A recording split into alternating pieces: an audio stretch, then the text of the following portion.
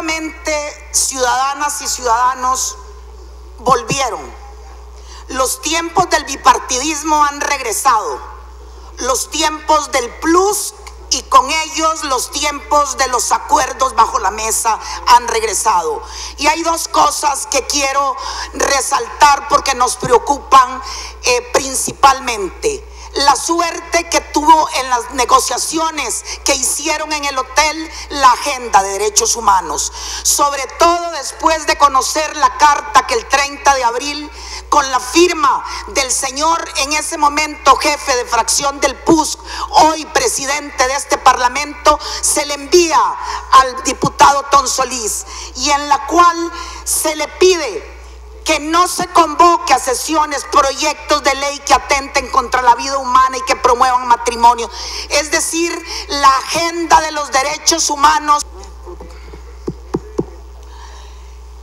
Eh, lo que tiene que ver, repito, con la agenda eh, sobre los derechos humanos eh, nosotros exigimos que se aclare y se transparente lo realmente negociado ahí.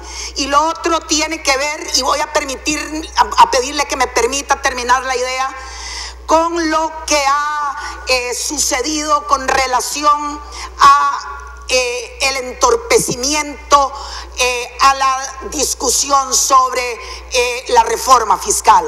Pongámoslo claro, señores y señoras diputados, don Abel le entregó a don Oscar Arias un país con un equilibrio fiscal. Y don Oscar Arias dejó el gobierno con un déficit prácticamente igual que con el que cerró el año pasado.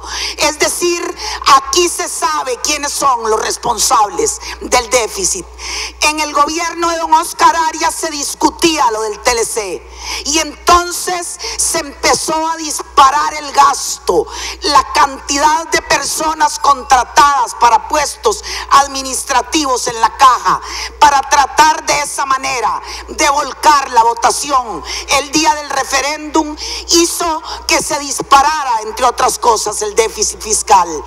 Efectivamente, hay mucho que apuntar sobre el informe del presidente, pero yo quiero dejar claro ante la ciudadanía que más hay que aclarar sobre lo que sucedió en la mesa de negociaciones que dio como resultado el acuerdo del cual surge el directorio que hoy dirige este Parlamento. La ciudadanía tiene el derecho de conocer qué fue lo que se puso sobre la mesa. Y este partido al que represento, que no es una fuerza política testimonial, que hoy es la tercera fuerza política en este país, exige que se nos indique en aras de esa transparencia que tantas veces se ha pedido durante un año y que respaldó el Frente Amplio, que se nos indique qué fue, a cuáles acuerdos se llegaron, qué fue lo que se sacrificó, o es que únicamente se pelearon por dos o tres sillas.